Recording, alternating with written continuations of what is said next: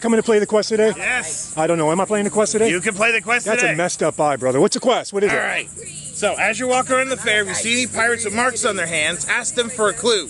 I'm gonna give you your first clue. It's not poison. At the end of the day, you'll have one person, one place, one weapon left. Go to the pirate tent with the green flag, tell them who did it, where they did it, what they did it with, and you get treasure. Arr. There you go. Good luck on your quest. Arr.